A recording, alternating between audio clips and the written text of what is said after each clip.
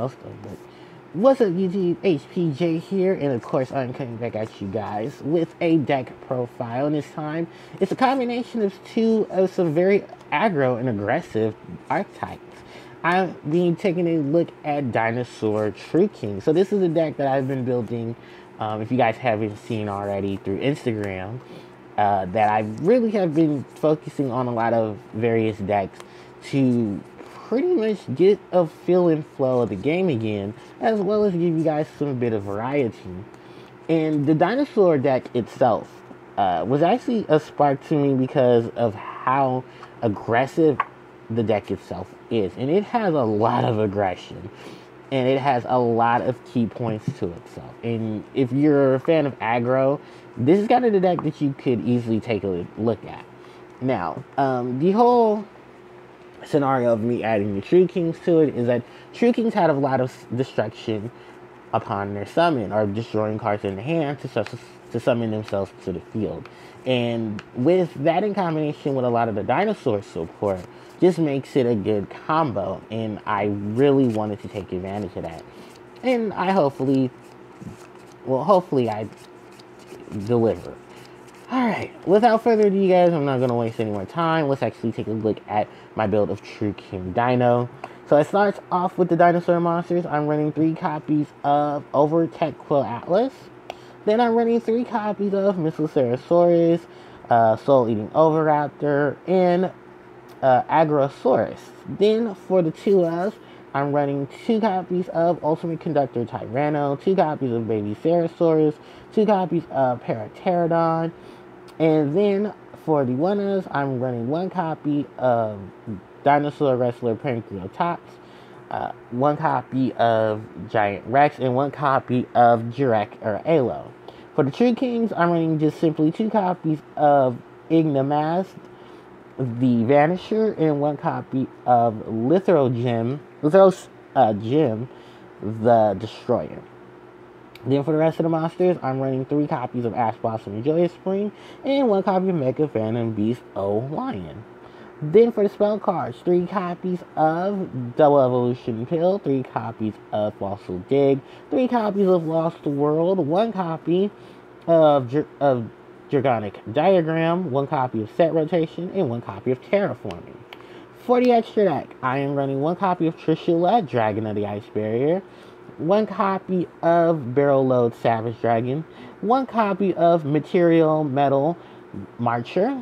Then for the Exceeds, I got one copy of True King of All Calamities, one copy of Evolzar Laggia, one copy of Evolzar Dolkka, one copy of Tornado Dragon, and then for all my Exceeds, I'm running, I mean, Link Monsters, I'm running one Salamangreat uh, Almiraj, one copy of Link Cross, one copy of Crystal Needle Fiber, of course, the Knightmare Engine, one Knightmare Cerberus, one Knightmare Phoenix, and one Knightmare Unicorn, then one copy of Mega Phantom Beast Aurora Dawn, and then one copy of Borrelsword Dragon. So, the whole concept is a combination of both Dinosaur and True Kings.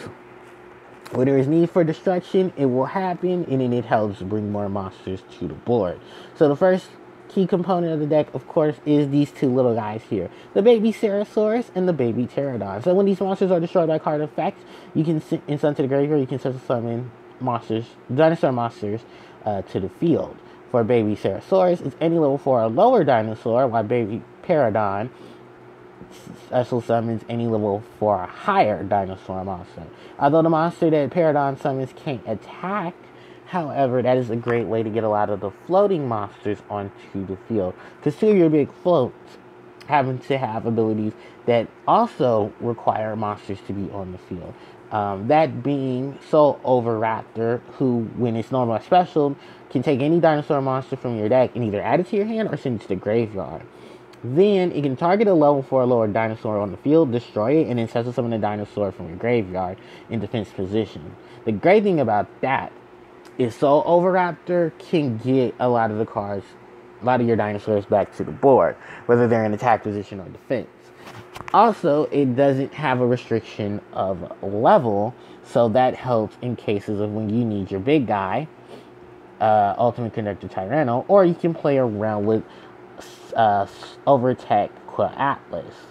Uh, now, let's actually talk about Qoatlus. So, Qoatlus has the ability of destroying other dinosaur monsters on your field or in your hand in order to negate the activation of a spell, trap, or monster effect in destroying that card once it's negated. The crazy, the great thing about Qoatlus is that it's not even a, a hard summon. It's literally a great asset to get onto the field as soon as possible to where you can negate a lot of things. And the other ability of this card is that when it's sent to the graveyard, you can pick up your evolution pills. And that's also a great thing to be doing because once you got to your evolution pill, you can just simply go straight for um, Ultimate Conductor Tyranno and you don't have to worry about going into his effect. Now, the other defensive card here is Missile Ceratosaurus, which can also be offensive and defensive. Um, the fact that this monster can protect your dinosaurs from being affected by card effects until the end of the turn by simply discarding it from your hand helps you out in terms of dealing with cards um, that would try to negate your effects or that would try to stop your monsters from doing things on the field um, in which you know it would mess up your opponent's plays and the crazy thing about it was this the monster that got i believe it was limited or banned and that this was literally the reason why dinosaurs kind of fell off because this was one of their ways of dealing with a lot of things. And then they went very aggro with a lot of their combinations. But the funny thing also about this is how aggressive that even a pure dinosaur build or a dinosaur combination build did really take advantage of Ceratosaurus' defensive ability because it allows your other dinosaurs to do a lot of things themselves. Not to mention, this guy can special summon dinosaurs by simply banishing itself and multiple other dinosaur monsters in the graveyard to the field, uh, simply by banishing the amount needed uh, based on that monster's level. So it also was a great special summon, and I don't think it ignored any special summoning conditions. No, it didn't. But hey, you got enough monsters in the graveyard that can be easily special summoned because you can always get Overtech Quill Atlas and just have a dinosaur that can negate stuff. Then let's move on to Ultimate Conductor Tyranno. So this is a monster that uh, has the ability to such summon itself by banishing two dinosaur monsters in your graveyard. Then during either player's turn, you can destroy a monster in your hand or in your field to change all face-up monsters your opponent controls to face down to Vince. When he attacks, uh, he can attack all monsters that your opponent controls once each. And then uh, those monsters that he swings at uh, are automatically sent to the to the graveyard if they're in defense position, and your opponent will take a thousand. This helps block combos in monsters who are trying to use their effects and trying to get other monsters on the field to link with or synchro with or fuse with. Then he can just ramp. He can do what most dinosaurs do: rampage and take things out. So it's a great uh, way to pretty much Book of Moon, run stuff over, and literally just have some fun. Um, you know, just taking out your opponent as fast as possible. Like I said, the aggression comes with all these big beef uh, dinosaurs because this is literally one of the highest level dinosaurs uh, right now in terms of the main deck because it's a little 3500 attacker. And most of them can't run over anything that literally is 35 or 30, yeah, 3500 or up. Now, next to that, let's talk about the one of dinosaurs. We do have, of course, um, Dinowrestler Pankratops. This is pretty much just a Cyber Dragon and then a pop um, with this card. Also, part of the reason why it's at one because it would be easily abusable. Um, the Giant Rex simply special summons itself whenever it is banished. Then it gains 200 attack for each banished dinosaur.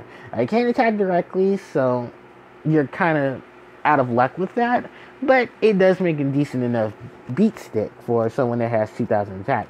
It's funny. It's funny thing about that is because through the history of Yu-Gi-Oh, any level four monster that had more than 18, no, 1900 attack that wasn't a normal monster had a lot of regression to its ability, meaning that it had a lot of not regression, a lot of cost to its ability because you can just get a free floater like this um, in the game nowadays. Like the only way you can literally get this is by negating that monster's horrible conditional effect with cards like Skill Drain. But unfortunately, Skill Drain's out the picture because it's at one, And most, I mean, there are cards that negate effects that you can take advantage of, but you know, it's just still shocking that 2020, and we still have some great level four beaters that can really do some damage, and this just happens to be one of them. Although it is still relegated to not to having a condition attached to it to where it's not so broken um, that people can take advantage of multiples of them.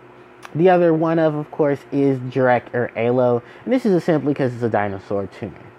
Now, for the True Kings, we got True King um, Agnimazud, the Vanisher. So, destroy either two monsters from your hand or field. One of them must include a fire type. I mean, a fire attribute. Uh, now, the benefits of this is that if all the monsters you destroyed are fire, you can destroy a card on your opponent's side of the field. Then, if this card is destroyed by your opponent's card effect, you can add a non-fire urine monster from your deck to your hand. Primarily, it helps you search out for Leth, uh, Lathrogem, who is pretty much one of the other essentials to this deck. Because when this card is supposed to summon, uh, when this card is summoned through its effect, you can destroy. Uh, what is it? You can just oh, you can hit your opponent's extra deck and then clear them with three monsters. The crazy thing about that is, is this card is at one simply for that reason because there's so many ways to abuse ridding your opponent of their extra deck and then taking out those monsters. Especially um, nowadays where most decks do benefit from their extra deck. With Lathrogem, that was he was literally a great way to because he was even banned uh, actually because of how aggressive his ability was. And with the True King and True Draco, destroying other cards to summon themselves was one of their big key components. And that's why a lot of people enjoy playing the deck so aggressively because it was what a variation anti-meta. It didn't need its extra deck. It locked out extra deck support, and it had a lot of lockdown and a lot of hold to itself. Now, when it comes to the combination between a dinosaur, it's simply a massive amount of destroying cards from the hand, taking advantage of those destroying monsters' abilities, and then bringing out, like I said, these giant aggressive beat sticks for a lot of aggression. Then, uh, the other monsters to talk about because uh, I completely forgot about him, is the uh, Jeweled Beast Agrosaurus. So this is another monster that can also pick up the double evolution pill, or just evolution pills in general, um, simply by it destroying a dinosaur monster that's face up on your side of the field. You can easily go get either a reptile, sea serpent, or winged beast monster that's the same level as the monster you destroyed, or you can grab the Evolution Pill spell card from your deck to your hand. So this just helps you go get double Evolution Pill because it's an Evolution Pill card. Not to mention, this card can also be destroyed by, you know, other card effects and then have its abilities triggered. Uh, which I think is to destroy. Oh yeah, when well, it can be summoned by other dinosaurs, and then you can trigger um, its ability to pop another dinosaur in and search, which I thought it was the other way around, but no, this is uh, also a great essential in terms to Qoatlus because you have two cards that can search for the evolution pills. The other cards to talk about, of course, are the Ash Blossom Joy Spring, and that's, of course, the hand trap of choice. Simply negate cards that will either special summon from the deck, add cards from the deck, or send cards from the deck to the graveyard, which each of those cases, decks in the game right now then we have the uh, Mecha Phantom Beast O Lion. This is simply just a token creator and a great way to get around with Crystal Crystal Needle Fiber. In addition to Ash Blossom and Director Alo. For the spell cards, we do have to talk about the double evolution pill. Banish a dinosaur monster and a non-dinosaur from your hand or graveyard. Uh, set summon level 7 or higher dinosaur from your hand or deck, ignoring the summoning conditions. So you can easily go get your ultimate conductor Tyranno, ignoring the summoning conditions attached to it. You can also get Qoatlus if you want to get. Remember, you have two giant monsters you can easily get with this card. Not to mention, this fills up a lot of additional effects as well, because you can help out with, um, with a giant Rex is a, you know, 200 games for each banished dinosaur. You have another, you have additional stuff to set up to the summon of um, Qoatlus. You just have a lot of things you can easily get um, with this with the help of this card, and then having to circumvent to in the biggest you know payback is bam. Here's this giant dinosaur monster that can take out your opponent's stuff in Book of Mooning. Uh, three copies of Fossil Dig. This is the search for all the low level guys. We have Lost World. So Lost World, um, the field spell pretty much helps generate, you know, the, the Jurek egg tokens.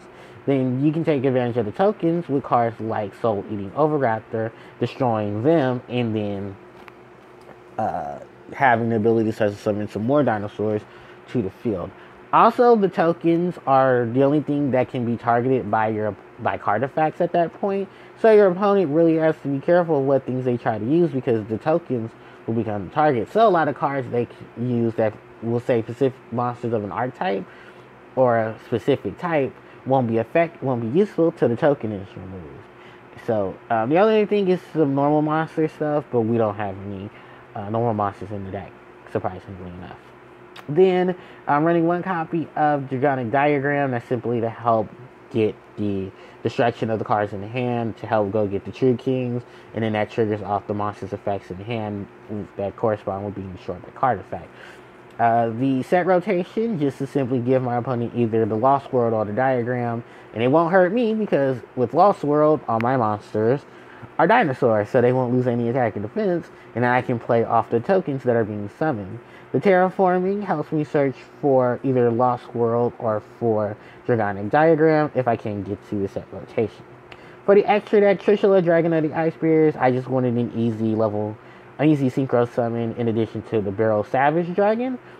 Uh, but Trishula, of course, can hit the hand, the field, and the graveyard of your opponent and simply banishing one of each of those cards from the selected areas. Then we have the Barrel Savage Dragon. So what you do with this monster is that you're supposed to take advantage of both Crystal Needle Fibers effect and the effect of Linkross. You're pretty much trying to generate enough tokens in order to synchro summon into your Barrel Savage. Then you take advantage of the token monsters by putting them onto the. You take advantage of whatever link monster you use, you have in the graveyard, and attach it to the Barrel Savage Dragon, and giving it its its counters. Then it can negate the uh, effects of cards on the field once a turn by removing one of their counters.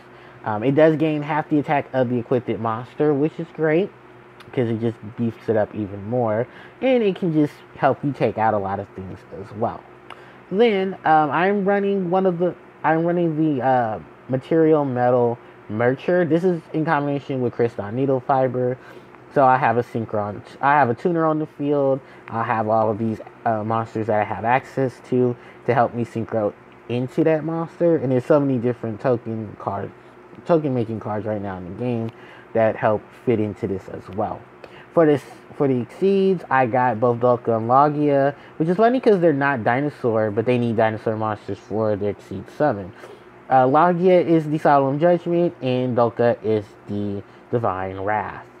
Then we have True Kings of All Calamity, just another big beat stick that can easily be made with more beat sticks on the field, and has its ability to remove monsters of the same attribute, and it prevents monsters of the attribute um, actually declare to not be able to use their effects while uh, while it's on the field. So a lot of negation there.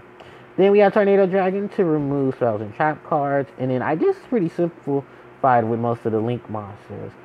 Um, you have uh, Almiraj just to be here in case uh, normal summon gets screwed over. We have Link Cross, which helps us create these tokens, and then those tokens, even though they can't be used for link summon, you're going to use them for synchro. So you can help get out Trishula, you can help get out Barrel Savage. Then you have Crystal Needle Fiber. You have enough. I have all these different tuners. It helps me get out some of my extra deck monsters. Well, it helps me go into my um, metal mercher, and in that way I can synchro into Barrel Savage, or I can synchro into Trishula and take advantage there. In terms of removal, I have Knightmare Cerberus for monsters in the main monster zone, Phoenix for all the spells and traps, and then Bounce with Unicorn. Uh, then we have Mecha Phantom Beast um, Auroradon. This is another monster to help me make tokens.